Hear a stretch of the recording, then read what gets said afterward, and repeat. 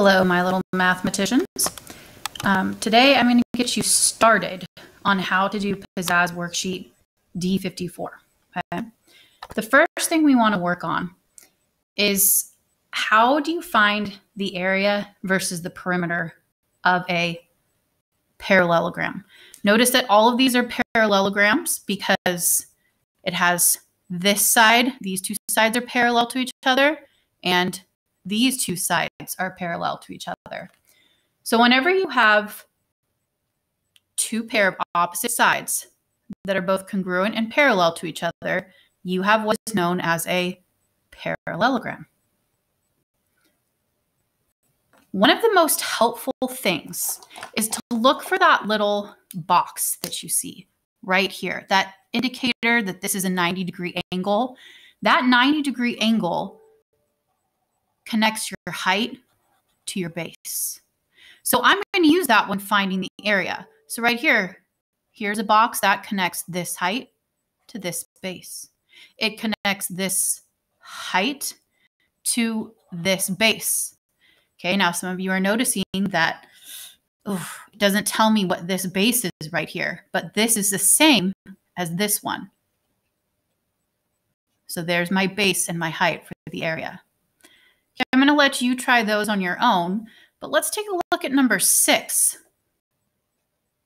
Look at that little box, and that connects your height to your base. Okay, and my actual base length is only from here to here, because notice this isn't actually part of the figure. But when it says the height, it wants the perpendicular height, the one that comes at a right angle. In regards to the perimeter of a figure, that's along the outside edge. Okay, so that's where you're going to do all along the outside. So I'm not taking into account that four. It's just along the outside. Okay, same with here. When I'm finding the perimeter of this figure, what would I ignore? The 15. Okay, and then let's skip down to six here's the actual figure. Because when you see dotted or dashed lines, that's not actually a part of the figure. This is outside of it just to tell you the perpendicular height. The actual figure is right here, the solid dark bold lines. So that's what we'd actually find the perimeter of. Now, in terms of showing our work, remember this is just where we're going to provide our answers. We always want to show our work on a separate sheet of paper. So let's first of all do a heading. This is D54, Pizzazz. Okay. Number one. Okay, in order to find the perimeter, you add along the outside. So that would be the five, the eight. What's this? Same as this, and they're five. And then this one, which is also eight. So five right there plus that 8 plus this 5 plus this 8. Okay, now just go ahead and combine all those. 5 and 8 makes 13. And this 5 and 8 also makes 13. Add those together, and you get my perimeter is 26. My units were inches, so I'm going to put inches for my perimeter.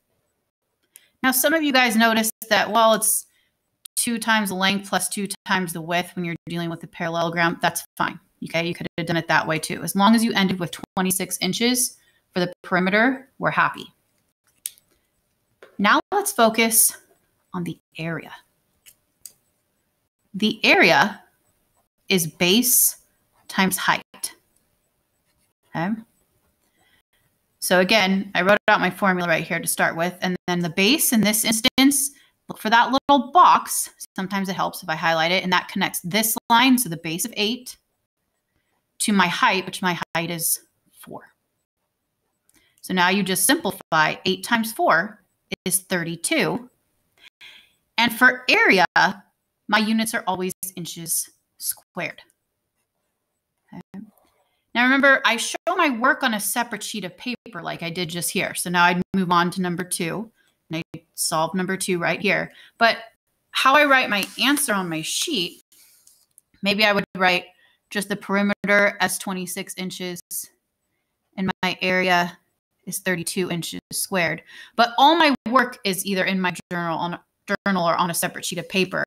And then down at the bottom right here, okay, I'm going to find where it says 26 inches. And I'm going to go ahead and cross that off. And then I'm also going to find 32 inches squared right here. And I'm going to cross this off. Now, I'm not going to write anything here until after I'm done with all the other problems. Once you finish all the other problems, then you write down the remaining letters. So again, I'm not going to start writing anything in these boxes until after I've solved all the problems on the sheet. And then whatever ones are left, that'll answer my riddle at the bottom. Okay, so now hopefully you have an idea of how to get started on this and you can do one through six. My hint to you for number 10, okay, it says the area of a parallelogram is 375 centimeters squared. So the area of a parallelogram is base times height. They told me the area is 375. So I replaced 375 for the area. And then they told me the base is 25. I don't know the height. How do you think you would find the height? 25 times what is 375? That's my hint to you for number 10. You can kind of follow that same logic for number 9.